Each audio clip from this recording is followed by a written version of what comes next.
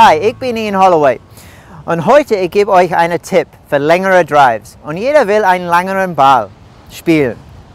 So die meisten Leute, das ich sehe, wenn ihr dann hier im Aufschwung sitzen, wenn ihr dann hier im Abschwung hier hinkommt, die Sequenz ist nicht so gut und dann der Oberkörper hier neigt zu weit nach links und das bedeutet, dass der Schläger zu steil an den Ball kommt.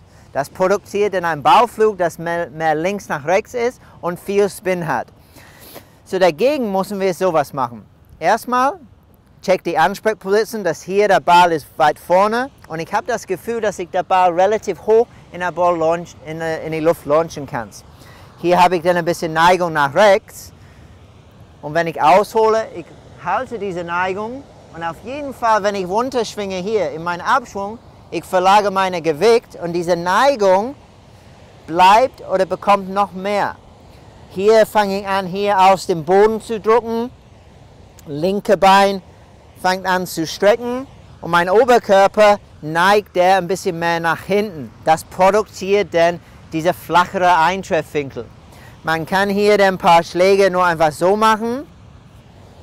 So hier in dieser Position Finish machen sodass die Hüfte vorne sind, die Oberkörper ist nach hinten. Und mit dem Ball, ganz normal, würde das so aussehen.